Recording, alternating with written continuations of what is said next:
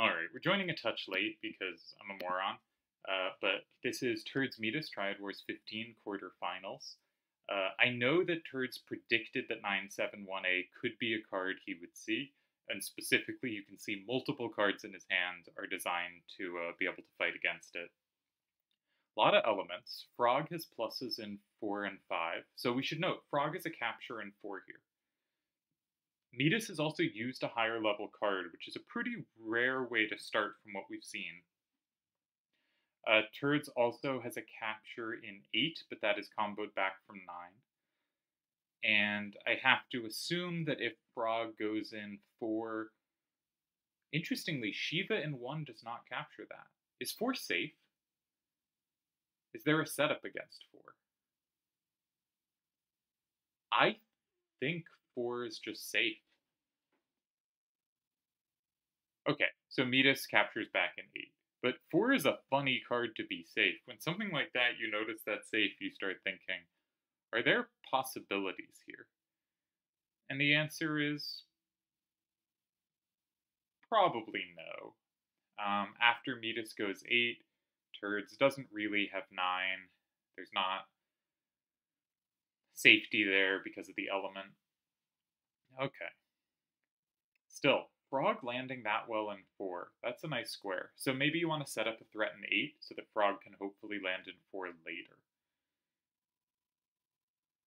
Is there a way to set up an 8? There is. 2, 3, 2, or sorry, a 9. 2, 3, 2, 6, uh, set up 8 from 9.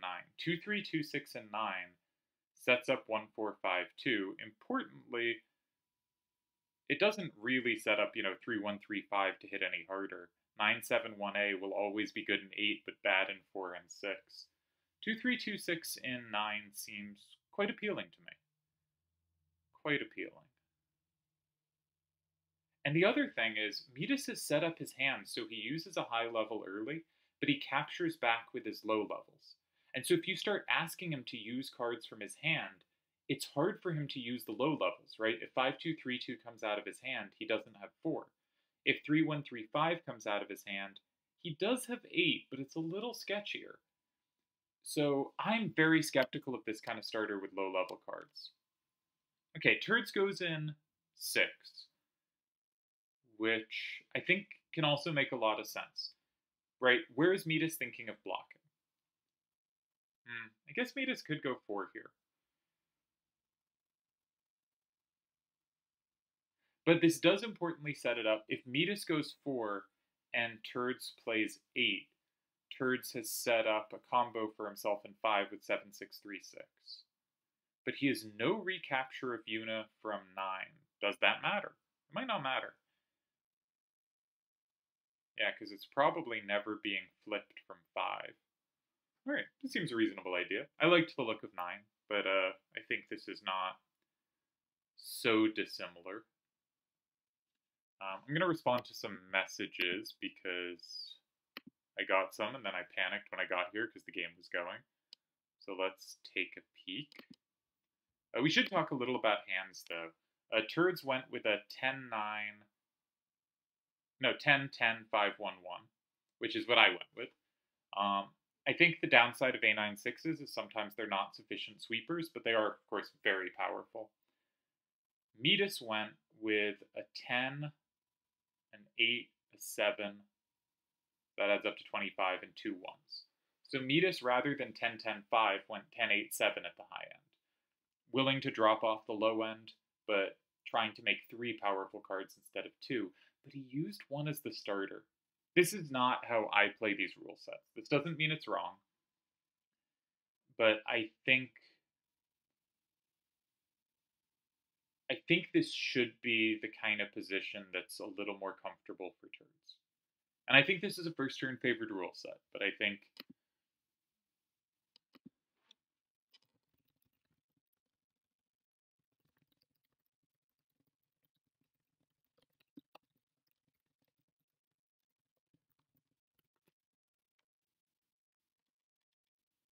Um, okay, we're fine there.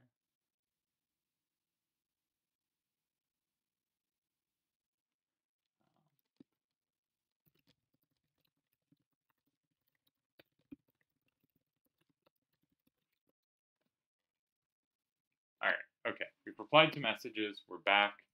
Um, so I think one thing really interesting to do is, and I didn't want to talk about this too much while I was playing my games, in case it didn't work out. But I have talked about it with Turdz, so I think it is very relevant to mention here.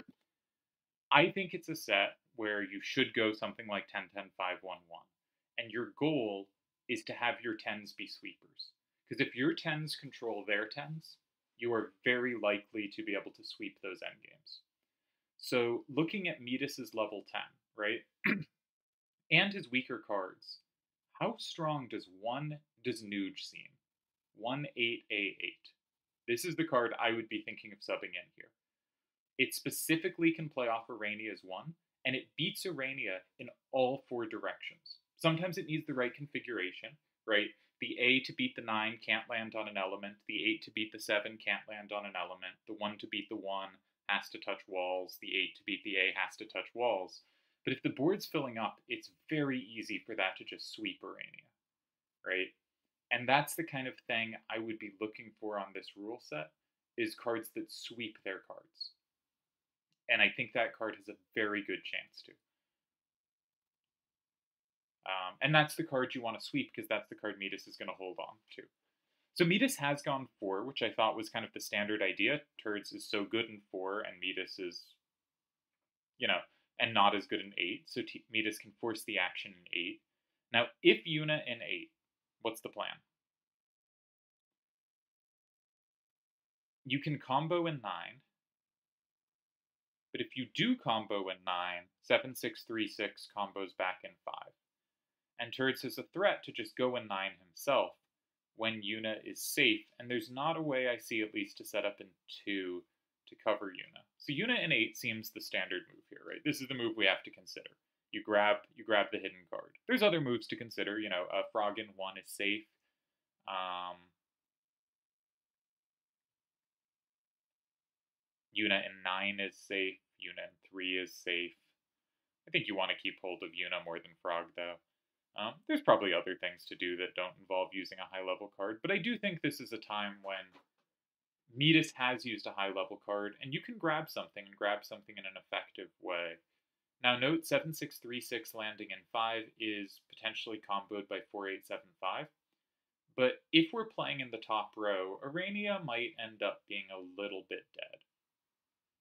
Or at least unable to take enough cards that it isn't pretty comfortably a tie.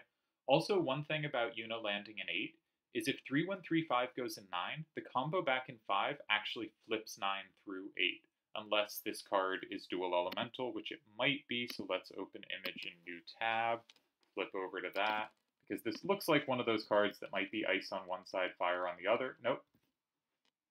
It's uh, ice on both sides. So I, I think I think Yuna in 8 should be the critical move.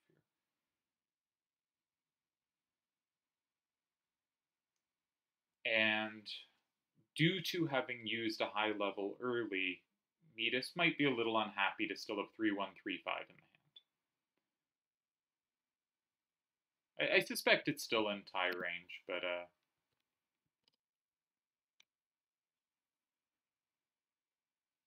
but you know.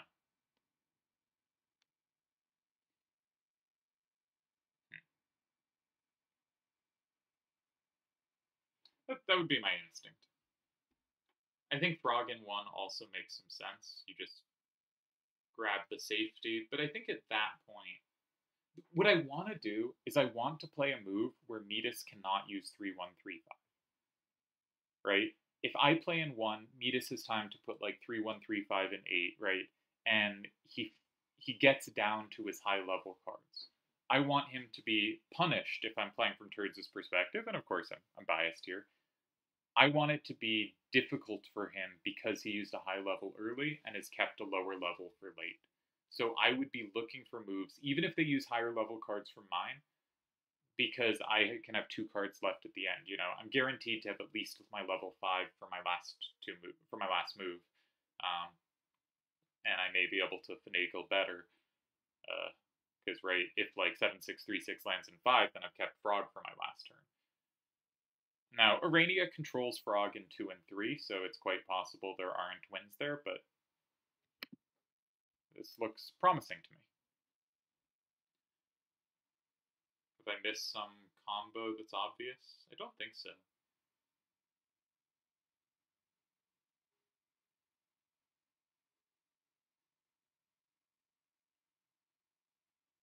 Yeah, I think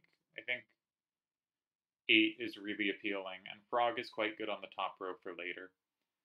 You know, if eight is met by say one, because there is safety in one, you you probably block nine. Maybe you have better, but you have freedom to block nine kind of however you want, so you can get whichever card out of your hand you want. Then they go five.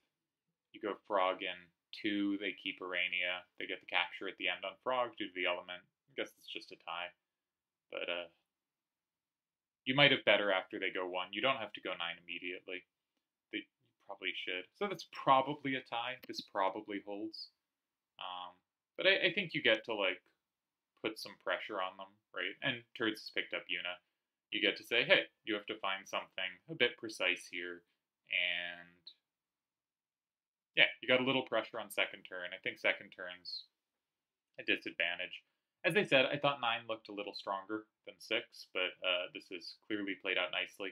I like Midas' move in 4. I, I, think that was a pretty intuitive thing to do. 4 was such a good square for Turdz. Being and, and Midas also needed to find a way to get the low levels out of his hand doing something useful. Um, so I don't like the starter, but I don't mind the move in 4. Um, the move in 6 is not what I would do, in general, um, I tend to look, and there's some, I tend to look to moves in six if I want to make the game kind of side to side oriented. And maybe Turdz does. Maybe that's just correct with the A's facing both ways and one of them unopposed. Maybe there's just a very good case for it. So Yuna does land in eight, which, yeah, I thought was the logical move here.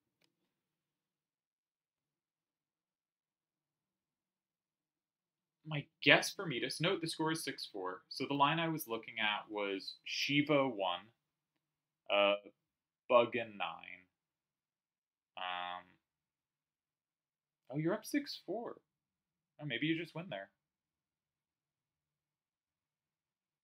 Yeah, I was thinking um, Doofus in 5, Frog in 2, and Arania captures back, but you're just up 6 4 at the end. This could be a win. Um, I feel like it shouldn't be. Let's look at Arania and 9. And then 7, 6, 3, 6, and 5 puts Turdz up 7, 3. But 3, 1, 3, 5, and 3, and Shiva. That actually might win. Does that win? Arania 9, 7, 6, 3, 6. You might not be able to play 5. 76365 31353, you are down 6-4, but Shiva's incredible there. 1452 has no captures. Shiva, because it has the plus wall in 2, flips 5 and 4 if it goes in 2. You can't play Frog in 1 because Shiva pluses that. If Midas goes Arania in 9, Turdz has to be very careful here. Oh, I totally missed this.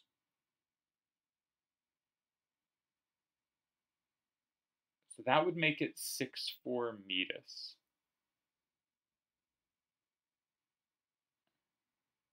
I mean, if he plays it, we'll we'll look there. It's um, I have trouble calculating at distance with elemental. But actually, this is um, you can't you can't go five. Shiva sweeps you. So maybe you go one. With what? 7636 maybe and one? Saying I'm I'm giving up on on five. It's six four. If you go five, I can play um five A nine four and two and I tie. If you go two, you don't take anything. I can go five and I'm okay. And if you go three, um, and you keep three, one, three, five, then I can go five with Frog. And if you keep Shiva, I can go two with Frog. I think that holds, but okay, this is actually scarier than it looks like. I think Arania and 9 would be a really good move here. And I think Shiva is a weirdly dominant sweeper in the resulting positions. I thought this was free pressure for Turdz. Now I think it is more mixed. I'm curious if Midas saw this before playing 2 because to me instinctively 8 looked very dangerous and I probably wouldn't have kept calculating. Probably would have backed off. I, I think two I think sorry, 4. Uh 4 versus 8. I, I think I probably would have assumed this wasn't safe. But it turns out maybe it's not just safe, but the opponent who has to be careful. Right? When someone goes 9 and you have the combo and 5 and they you know, their best combo back is two, but two is obviously garbage. Like, it doesn't seem that scary. But three just wins there. What an interesting turn of events. Um, random thing to note that almost certainly doesn't matter. Arania and 9 does combo through 6, which if 7636 lands in 5 before 9 is occupied, which I think it almost never would, um, that means Arania and 9 would combo 6, would combo 5, would combo 4. Uh, never really relevant, but worth worth spotting the elemental stuff. This is a very strange line, though. The Arania 9, 7, 6, 3, 6, 5, 3, 1, 3, 5, 3. Midas has 3, 6, and 9, but Shiva just wins. Hmm. Yeah. It's possible I haven't checked something against Arania, maybe like three works or something, but I think I think you want to block one. I think we've now seen that Shiva in one and two is too good. Um, so I think Arania 9 is met by 76361.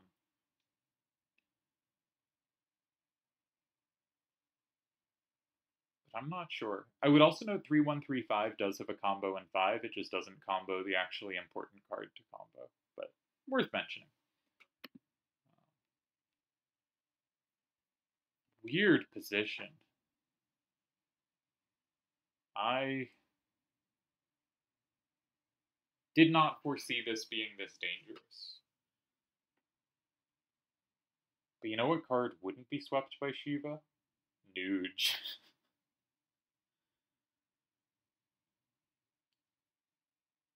I, I really believe in the 8A8s on this set. I think they're really good.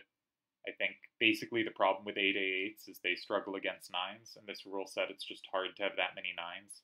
And also the ones in Midas's hand aren't well aligned for this anyway. So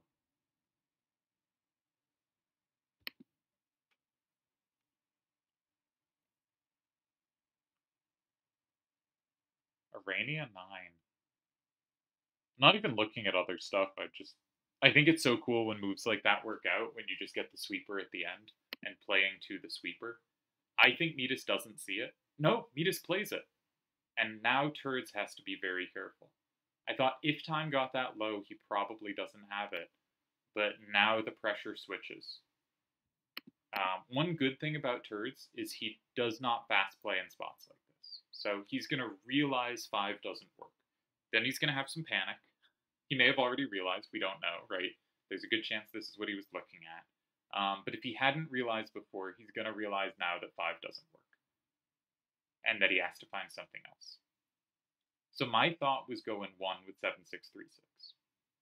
If 3135 and 5, uh, you play Frog in 2 and you tie, you're currently down 6-4, so you just need the one capture to tie.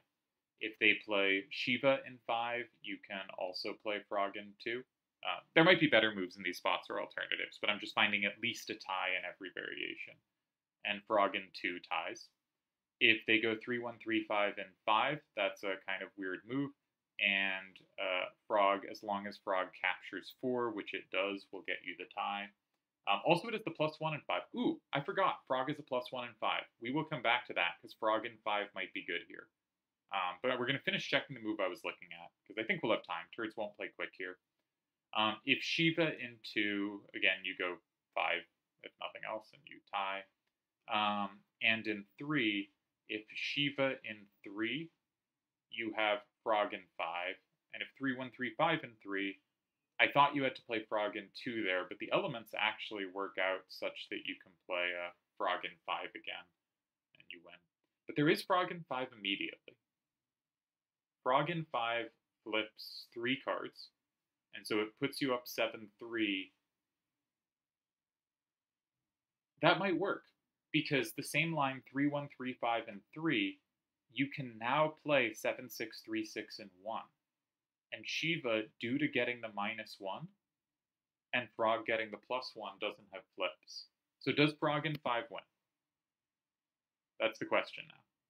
Totally missed this, forgot about Elemental. As I've often said, I am not. Um, I struggle with Elemental. I find it very difficult to calculate properly. But Frog in five.